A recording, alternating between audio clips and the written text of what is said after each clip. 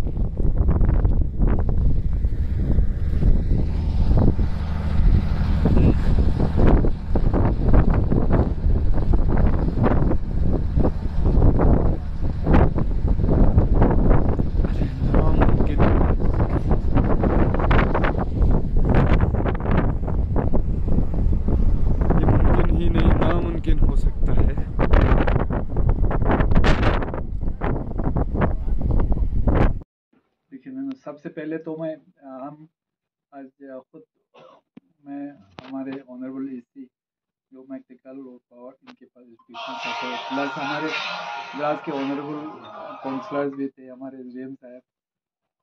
फिर हमारे विजय के जो हमारे कमांडिंग अफसर भी थे तो और पुलिस के हमारे एस एच ओ साहब और डी एस पी ट्रैफ़िक के, वो सब, हम सब उन पर देखना चाहते थे कि जुला का कंडीशन कैसा है। आपको जानते हैं, इस साल पहली बार फरवरी में भी जोजिला खोलने की कोशिश, यानी मेरे ख्याल में ये ज़िंदगी में पहली बार, हमारे हिस्ट्री में पहली बार है, और हम जाके आज यहाँ से ज़ीरो यहाँ ज़ीरो पॉइंट तक गए। तो ज़ीरो पॉइंट के बाद हमने देखा, हवा बहुत चल रही है तो हवा की वजह से सड़कें पूरे बरी बरी पड़ी है।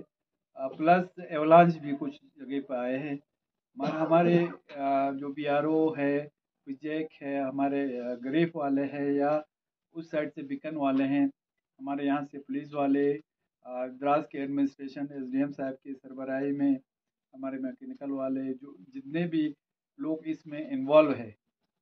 एक तो हम सब उनके आभारी हैं कि ये लोग इतना मेहनत करके आज हमने खुद सिचुएशन देखा कितना हार्श कलम बहुत हार्श क्लाइमेटिक कंडीशन में भी ये हमारे लोगों की सेवा के लिए काम कर रहे हैं।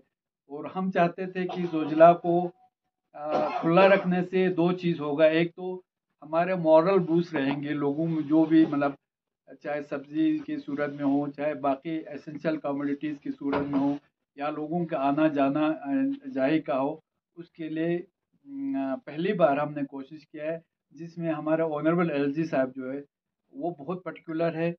अ, उनके अ, उसमें मैं उनको बहुत अ, शुक्रिया अदा करना चाहता हूँ और उनके एडमिनिस्ट्रेशन को। उन सब की कोशिशों से फिर हमारे ऑनरेबल एलजी साहब ने वहाँ पे बीआरओ के जो डायरेक्टर जनरल उनसे बात किया कि हमारे जो यहाँ से विजय जाते हैं वहाँ से बिकन वाले आते हैं। तो जितना जहाँ ख़त्म मतलब जहाँ तक क्लियर कर सके, वो अब वहाँ तक जाएँगे और और वो लोग भी यहाँ, अगर उनको पहले ख़त्म हो गया वो यहाँ तक आएँगे। तो आज हमने देखा बहुत ज़्यादा हवा चल रही थी। तो हमारे लिए तो सच बताऊँ, वहाँ पे दस पंद्रह मिनट ऐसे बैठना मुश्किल हो रहा था। मगर मैं उन एहलकारों को, जो विजय की तरफ़ से या बिकन गरीब की तरफ़ से है या जो भी हो, पुलिस की तरफ़ से, मैं उनको सल्यूट करना चाहता हूँ। हमारे कौंसल कौंसल की तरफ़ से, हमारे एडमिनिस्ट्रेशन की तरफ़ से, पूरी, हमारे पूरे कौम, करगिल वालों की तरफ़ से उनको सल्यूट करना चाहता हूँ, उनकी कमांडिंग अफसर को, उनकी चीफ इंजीनियर को, दोनों साइड के ये लोग, और वहाँ के पुलिस वालों को गांधरबल के एडमिनिस्ट्रेशन का भी हम बहुत आभारी है कि उनके गांधरबल के डीसी साहब भी, और उनके एस एस पी साहब और एस एस पी ट्रैफ़िक और उनके जितने भी एहलकार हैं। आपको पता है अभी सोनमर्ग के आसपास में भी कितना ठंड है और वहाँ से बिकन वालों का भी। हम बहुत आभारी हैं उनके बहुत बहुत शुक्रिया अदा करते हैं कि ये ये लोग हमारे लोगों के अ, लोगों के आना जाने को फैसिलेट करने के लिए कितना काम कर रहे हैं।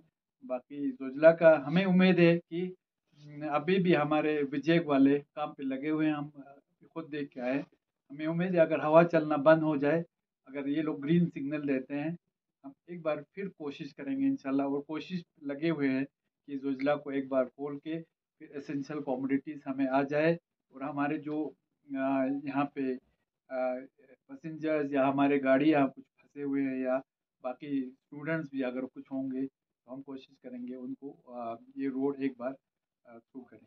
जी। Thank you sir